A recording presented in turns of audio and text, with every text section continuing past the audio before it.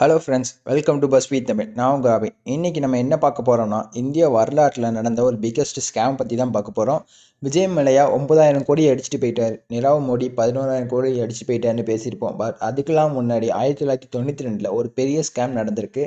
அதை பண்ண ஒரு பேர் ஹர்ஷத் மேஹ்தா அவர் என்ன பண்ணிட்டு இருந்தார்? எதுக்கு இதை பண்ணினார்? அந்த சம்பவம் அப்புறம் என்னென்ன மாற்றங்கள் கொண்டு வரப்பட்டுச்சுன்னு பார்ப்போம்.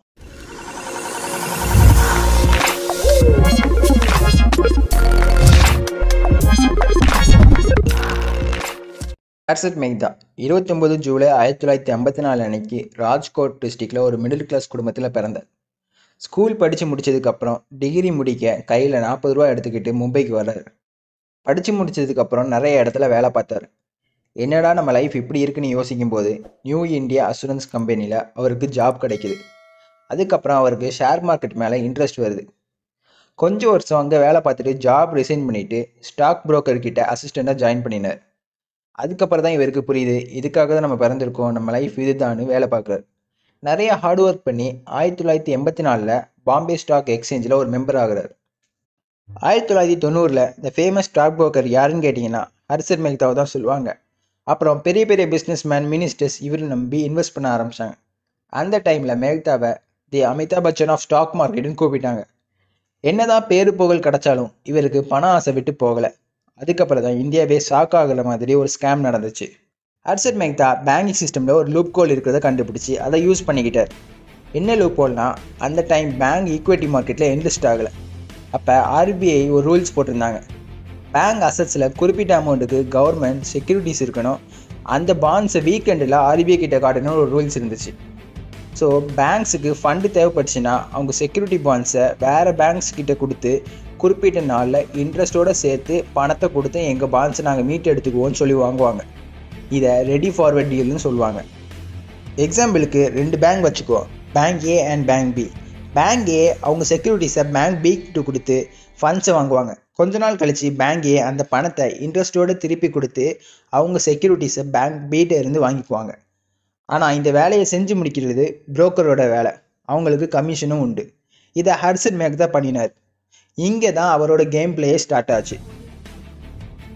எந்த பேங்க்கு ஃபண்டு தேவையோ அங்கே போய் செக்யூரிட்டிஸை வாங்கிட்டு வேறு பேங்க்கில் கொடுத்து ஃபண்டை ட்ரான்ஸ்ஃபர் பண்ணி தரேன் கொஞ்ச நாள் வெயிட் பண்ணுங்கன்னு சொல்லிட்டு போயிடுவார். அப்புறம் அந்த செக்யூரிட்டி பாண்ட்ஸை இன்னொரு பேங்க்கிட்ட கொடுத்து பணத்தை செக்கில் என் நேமில் போட்டு தாங்கன்னு வாங்கிட்டு போயிடுவார். யூஸ்வலாக பணத்தை எந்த பேங்க் வாங்குதோ அந்த பேங்க் நேமில் தான் செக்கு கொடுக்கணும். பட் அவர் ஒரு நல்ல புரோக்கர்னு நம்பிக்கையில் இதை பேங்க் இல்லீகலாக பண்ணியிருக்காங்க. வாங்கின பணத்தை இவர் ஸ்டாக் மார்க்கெட்டில் போட்டு ப்ராஃபிட் பார்க்க ஆரம்பிச்சிட்டார். அந்த டைமில் இவர் ஒரு ஃபேக் பேங்க் ரிசிப்ட் க்ரியேட் பண்ணி நாங்கள் பணத்தை ரிசீவ் பண்ணிட்டோன்னு சொல்லி ஃபண்டு கொடுத்து ஹெல்ப் பண்ணின பேங்க்குக்கு அனுப்பிடுவார். அப்புறம் பேங்கே நாங்கள் செக்யூரிட்டிஸ் கொடுத்தோம். பணத்தை எங்கேன்னு கேட்கும்போது இவர் ஸ்டாக் மார்க்கெட்டில் ஸ்டாக் வாங்கி வச்சுருப்பார்ல அந்த ஸ்டாக்கை விற்று அந்த அமௌண்ட்டை கொடுத்துருவார். இப்படி நிறைய பேங்க்ஸுக்கு அமௌண்ட்டை ரொட்டேஷன்லேயே விட்டுருக்காரு மேக்தா. ஸோ நிறைய இன்வெஸ்டர்ஸ் இவர் வாங்குற ஸ்டாக்ஸை வாங்க ஆரம்பித்தாங்க இவரை ஃபாலோ பண்ணினாங்க. இவர் வாங்கின associated cement company stocks value கொஞ்சம் மாதத்தில் இரநூறுவாலேருந்து தொள்ளாயிரரூவா வரைக்கும் போயிட்டு. இந்த மாதிரி நாலாயிரம் கோடி மோசடி பண்ணினார். பட் மக்களுக்கு யாருக்கும் தெரியாது. இவர் ஒரு ஹீரோவை பார்த்தாங்க. இருபத்தி மூணு ஏப்ரல் ஆயிரத்தி தொள்ளாயிரத்தி தொண்ணூற்றி ரெண்டு வரைக்குமே இவர் மக்களுக்கு நிறைய பேருக்கு ஹீரோவாக இருந்தார். ஆனால் அன்னைக்கு ஜேர்னலிஸ்ட் சுஜிதா தலால் இவர் பண்ணின ஸ்கேமை கண்டுபிடிச்சி பேங்கிங் சிஸ்டமில் என்ன லூக்கோல் இருக்குது அதை எப்படி மேக்தா மிஸ்யூஸ் பண்ணினாரு அப்படின்ட்டு பப்ளிஷ் பண்ணிட்டாங்க. அப்புறம் சிபிஐ இந்த கேஸை இன்வெஸ்டிகேட் பண்ண ஆரம்பிக்கிறாங்க. அப்போ தான் எஸ்பிஐக்கு ஐநூறு கோடி மதிப்பில் ஒரு ஃபேக் ரிசிப்ட்ஸ் நம்மகிட்ட இருக்குன்னு தெரிய வருது. மேக்தாக்கு பணத்தை திருப்பி கொடுக்கறது எந்த ப்ராப்ளமும் இருந்ததில்லை. பட் இந்த டைம் ஷேர்ஸை செல் பண்ணி கொடுக்க முடியலை. இந்த டைம் நியூஸ் வந்ததுக்கப்புறம் அவங்க ஸ்டாக் மார்க்கெட்டில் ஷேர்ஸ் எல்லாமே டவுன் ஆக ஆரம்பிச்சிருச்சு. இந்த ஸ்கேம்னால் சென்சஸ் நாலாயிரத்துலேருந்து ரெண்டாயிரத்தி ஐநூறு வரைக்கும் போயிட்டு ஒரு லட்சம் கோடி லாஸ் ஆகியிருக்கு. பல இன்வெஸ்டர்ஸ் பணத்தை இழந்துட்டாங்க. அதுக்கப்புறம் மேக்தாவையும் அவர்களோட பிரதரையும் அரெஸ்ட் பண்ணிட்டாங்க. மேக்தா மேலே எழுபது கிரிமினல் கேசஸும் அறநூறு சிவில் கேசஸும் போடப்பட்டுச்சு. டிசம்பர் முப்பத்தி ஒன்று ரெண்டாயிரத்தி ஒன்றில் மேக்தாக்கு ஹார்ட் அட்டாக் வந்து ஜெயிலே இறந்துட்டார் ஒன்ஸ் ஹீரோவாக இருந்தவர் இன்வெஸ்டர்ஸ்க்கு கிரேட்டஸ்ட் வில்லனாக மாறிட்டார். இந்த ஸ்கேமுக்கு அப்புறம் தான் சிஸ்டமே சேஞ்ச் ஆச்சு. சிபிஐ அண்ட் ஆர்பிஐ புது ரூல்ஸ் கொண்டு வந்தாங்க.